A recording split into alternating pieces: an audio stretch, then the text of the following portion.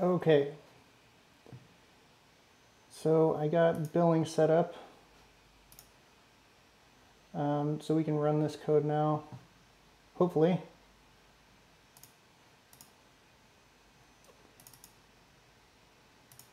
So I'm to log out.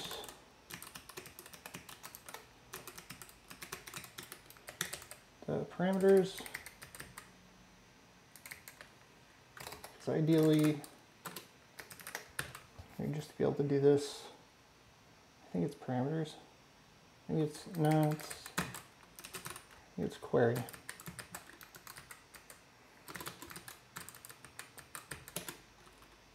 Uh, text and lang.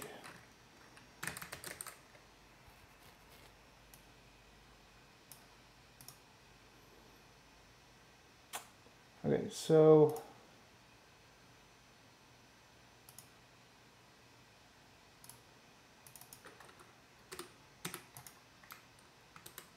set language to Spanish, which is not in our pre-translated list.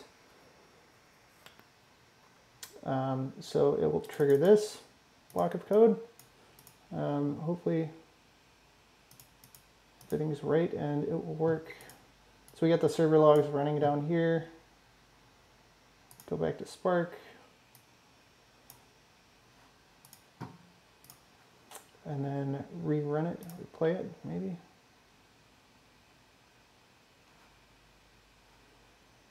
So it doesn't seem to be doing anything.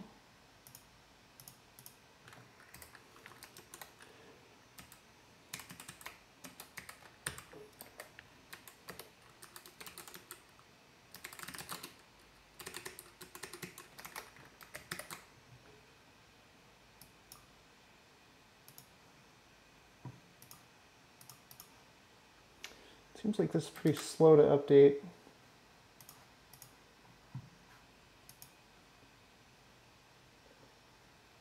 Yeah, okay, so it needs translation, should have tried to get it. So I guess we can test this outside of Spark um, just by passing manual. Um, so text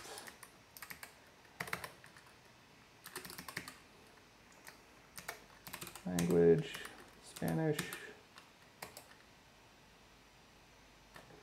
and that did not do anything because I'm not hitting the, the right endpoint.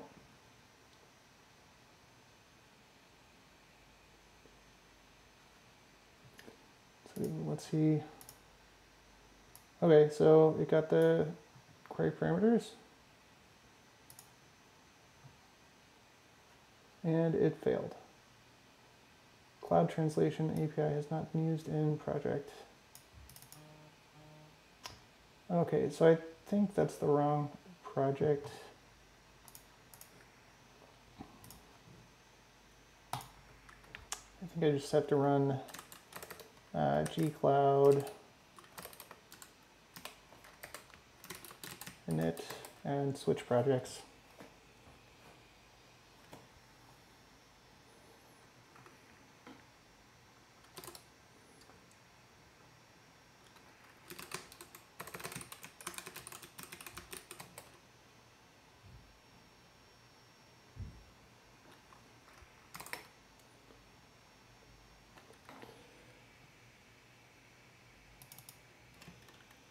Okay, so 23.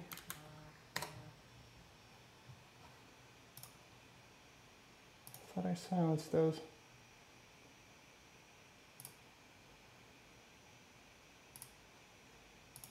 Oh, okay. Maybe that'll work now. Uh, Muzzle is a, a great app for streaming. It's my first time using it, but ideally it will silence all of your OS notifications so they don't check up your stream. Nope, that didn't work. Cool, well, try again next time, I guess. Okay, so let's go back. Try rerunning this.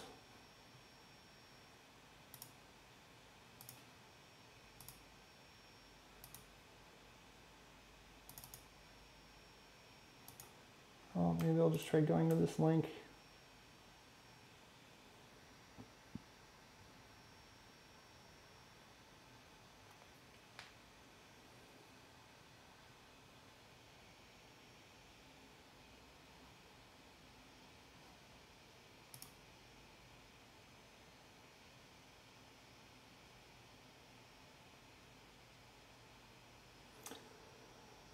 usually this is much faster. I think it's because I'm streaming.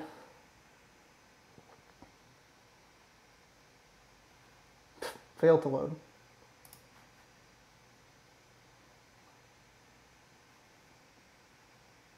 Hmm.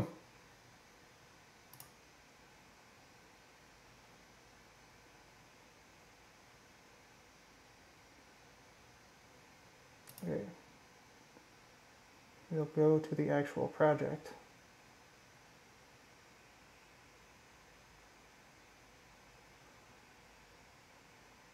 Oh, you know what? That's why. It's because it gave it this weird identifier. Maybe because the name was already taken. So that would be the project ID.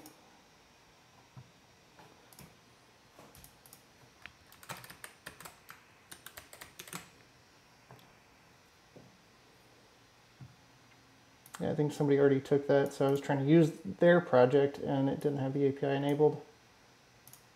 I wouldn't have access to it anyway. Okay, try it again. I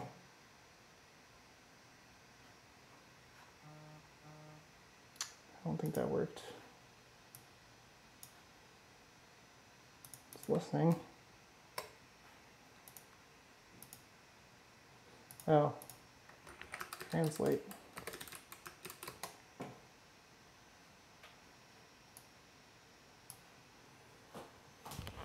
Okay, so I got the request.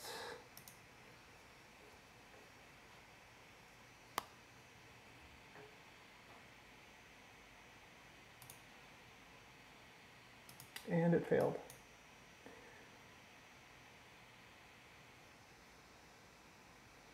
Now, if you enabled this API recently, wait a few minutes for it to propagate.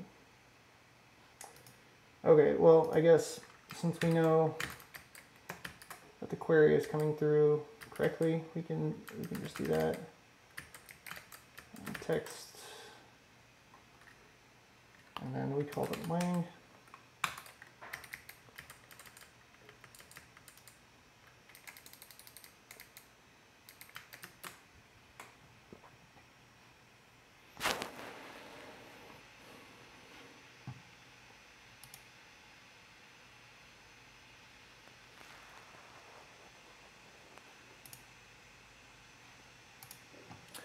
So, I mean, the idea is that you wouldn't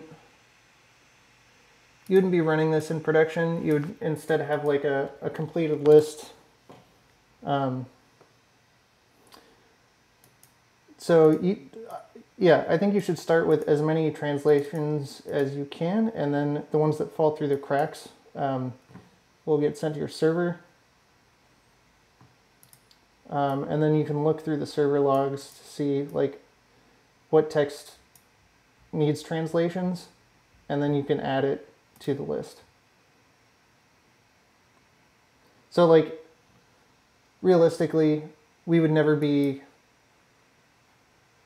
we would be sending the request to our server just to record um, the translation that is needed, um, but we wouldn't actually do any kind of translating.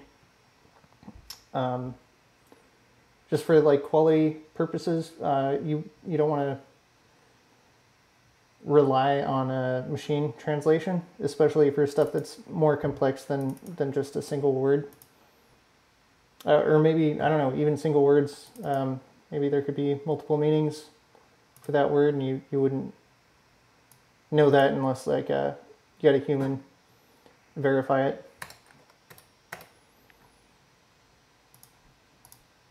So, I mean, I'm not sure if this is actually going to work um, before I decide to end the stream, but pretty much everything is there. I'm going to put it up on GitHub um, so you guys can, can tinker with it.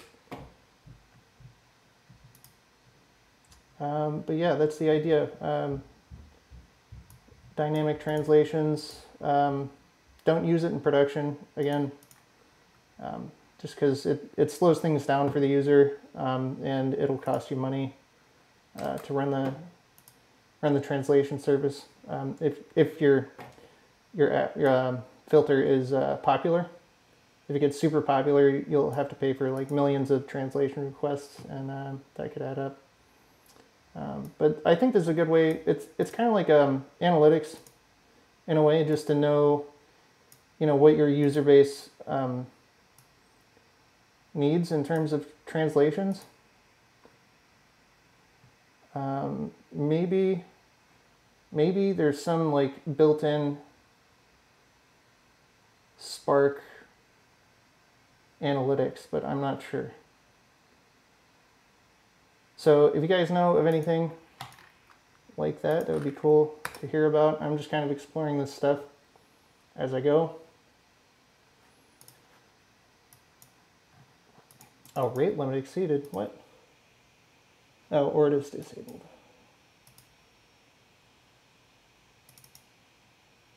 Okay, well, yeah, that's pretty much it. Um, I'm going to try to do at least one of these videos a day, so if you want to see more of my tinkering, um, hit subscribe and I'll show up in your, in your feed. And I'll see you guys tomorrow. I'm going to actually wait to hit end on this because uh, last time it got cut off.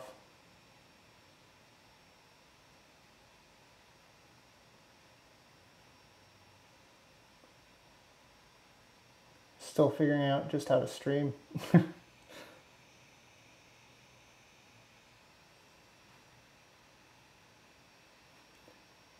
All right, there it is. Until next time.